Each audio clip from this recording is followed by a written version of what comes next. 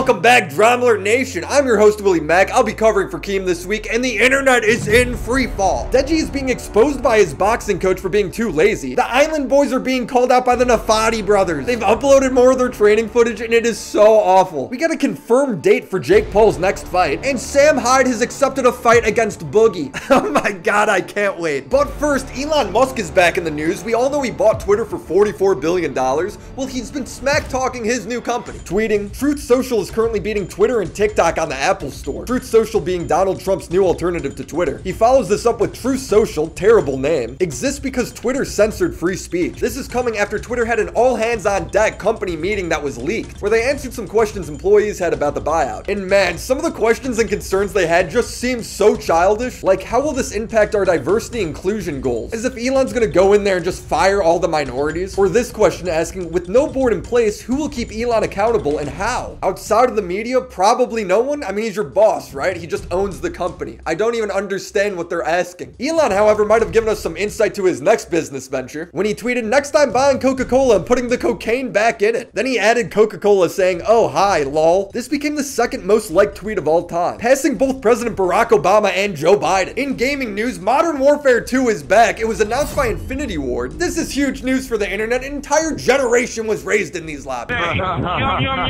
Oh, I want to show this so bad, but YouTube would blacklist me for it. I swear the internet was more fun back then, but either way, the game's apparently sick. NFL player Ahmad Gardner got a chance to play it, posting to his Instagram. I was the first person to see the new COD, and it's fire. Next in the world of boxing, Sam Hyde's recently been signed to Happy Punch. He's been trying to get in the ring with Hasan Piker, iDubbbz, Joe Rogan. With nobody accepting his challenge, he started posting Twitter polls of people he's down to fight. Some notable names were Dr. Disrespect, Anthony Fantano, Vaush, Ethan Klein, plus another guy, the Island Boys, and iDubbbz and Anisa at the same time. Out of all the people he pulled, Boogie was the one who responded. Keem tweeted, just got off the phone with Boogie and he's serious about boxing Sam Hyde. Sam said, I'm told Boogie will fight me. I think this is screwed up and you should be ashamed of yourself, but I honor the people. He pulled it with 71% of people saying he should fight him. Boogie posted, just got off the phone with Keemstar and the man is a motivator. Gonna find a boxing gym nearby me and give it a visit. We'll film this too for you guys. Who knows? Maybe this could actually be a thing. Out of all the people listed, all of these creators on these polls, Boogie's the one to accept Sam's challenge. You should all be ashamed of yourself. Earlier this week, we showed footage of the Island Boys training. It's the most unathletic thing I've ever seen. Well, the Nafati brothers took some notice, and it seems like they want in. What does it say?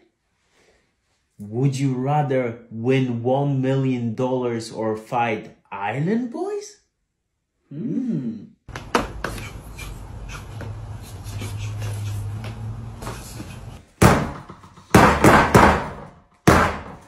Well, the Island Boys posted even more training footage, and it's somehow worse. His shoe flies off like halfway through. Three. Yay! Oh Yay! Oh.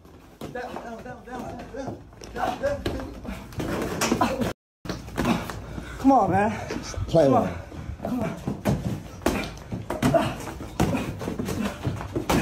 Down, down, down, down, down, down. Come on. There is no shot they get in the ring with somebody. They're trolling more than Sam Hyde. Next, we got Deji. Deji hasn't exactly had the greatest boxing career. He's sitting at 0-3. Well, his boxing coach this week has decided to come out and expose him. He talks about how Deji never took his training seriously. It was quite tough because he had quite a lot of commitments outside of boxing, which is understandable. But when you have a fight coming on, you need to be fully committed, in my opinion. Camp really didn't get going. I tried explaining to him that with boxing, you've got to take it seriously. His life is in my hands as a coach. Like, I must put him through the full paces. It didn't seem like it was paying off. After that, there was points where I did say to him that Deji, if it carries on this way, then I don't, I will not be your coach. Dude, if your own coach is threatening to quit because you aren't putting in enough effort, that should be a wake-up call. But apparently nothing changed. Leading up to the week where he moved camp, it was probably the toughest week for me because being away from home in the evenings, every evening, coming home late and eating with family was kind of difficult because I'd be getting home sometimes 12 o'clock and also sometimes waiting up till late to not know that he might not be turning up. That became an issue as well. There was times where, you know, I'd be waiting at home um, ready to about, about to leave, and you know, Deji may cancel on me. Thirty minutes before training, which did become difficult at times because number one, I want him to train. Number one, I wanted him to be fit and strong and ready for the fight. And number two is just like for me, I'm waiting at home. I'm giving that time to someone. I find it slightly disrespectful, to be totally honest, to do that to someone. When Happy Punch posted this story, Deji's previous trainer, Tommy, sarcastically replied, Oh, really? That doesn't sound like Deji at all. What did I tell you? At the end of the day, when it comes to YouTube boxing, I don't care if these guys win or lose. I'm here for the memes. But people are paying their hard earned money to see these guys put on their best performance. And Deji promoted it as such. Yeah, I've just been training, training, training. There was times where, you know, I'd be waiting at home, um, ready to about, about to leave, and you know, Deji may cancel on me 30 minutes before training. Bruh, I wish Deji would just give it his all or quit. I'm sick of seeing these inspirational speeches about not giving up when he never put in the work in the first place. No matter how many times you get beat down, you can still pick yourself up. Wow, real inspiring. Jake Paul's next boxing match seems to have been leaked. Now, we knew Jake Paul was going to fight in August, but we never had an exact date. And with the Showtime contract being up, we didn't know who was going to host the event. This is coming from his trainer who posted a picture of Jake Paul boxing with the caption, Big things in 2022, August 13th, with DAZN Boxing in the tags. His trainer quickly edited the post, removing DAZN Boxing from the tags and the August 13th date. The Drama Alert team started doing some digging around this story, and they ended up finding an interview with DAZN's Eddie Hearn. Now that his deal with Showtime is up, any chance of luring him back into Matchroom and DAZN? I don't know, you know, I I don't want to do YouTube boxing anymore, but Jake's kind of not YouTube boxing anymore. You know, he's got his own business, his own promotional company, he's very smart. Uh, if we can help in any way, um, I would always enjoy being involved in a Jake Paul fight, in a, in a real fight, not a YouTube fight, because he's a boxer now. This confirms that this leak might not just be a mistake. The fight is most likely happening the 13th of August. We got some more news on Jake Paul. A couple months ago, we reported on him being in a thruple. Yes, a three-way relationship. Both the girls ended up doing an interview with a channel named Duno's World. You guys smashed Jake Paul. Yes. Uh, we slid in my Instagram DMs, Okay, and he Instagram was DM. basically like, "I want you to come out to Puerto Rico, which is where he lives." And I was like, "Okay, I'm down, but only if I can bring my best friend Rochelle." Legend. Word for word, he goes, How do you guys feel about a thruple? We're like, Let's run it, baby. so we both have Jakey P on the same spot. Oh my god. And then he got uh, Skylar Rara and a heart on his leg. We were on like a really tight leash.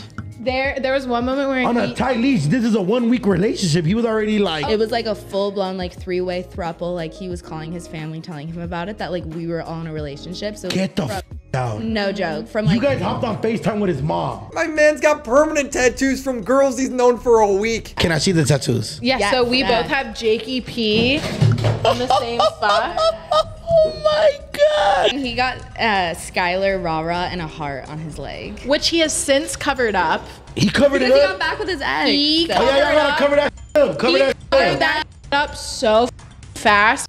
And finally, Twitch is making some changes to their website. Some good, some really bad. Bloomberg reported that Twitch seeks to revamp creator pay with a focus on profit. Some of the changes discussed include incentives for more ads, the revenue split going from 70% in favor of creators down to 50, a new tier system, no more exclusivity, and these changes, although not set in stone, could come into play as early as this summer. A lot of streamers are rightfully upset with these changes. Nadeshot tweeted, curious to see if those who sign exclusivity deals with minimum guarantees will speak out about this, or if this will go with little pushback from the top 0.01% of Twitch streamers. I love Twitch, but beyond no more exclusivity, I think this is a terrible decision. Courage posted. Obviously, none of this is confirmed. It's all through sources. But these changes would be worse for streamers. These changes would be worse for viewers. I don't see how this ever goes through. Amongst all this bad publicity for Twitch, the head of YouTube Gaming dropped a bomb. Shen tweeted, lots coming to YouTube Gaming in the next two weeks. Also, PSA that YouTube's rev share across fan funding features remains a 70-30 split, and our partner program doesn't include any form of content exclusivity. I'm telling you, Twitch is gonna be in serious trouble. They banned Adin Ross, Destiny, Speed, and for two out of three of them, they didn't even cite a reason. Speed is like the biggest streamer in the world right now. People are going to abandon Twitch if they don't get their act together. Now, on a semi-related note, Adin Ross's girlfriend Pammy reacted to some claims he made about their love life. Mm. What's foreplay mean? Oh my! This guy makes He's his 20. girlfriend come every time he doesn't even know what foreplay No, is. but on, but listen, like on God, like on everything I love, like on my Twitch career, like she's when I'm co- like every time. I'm not even lying.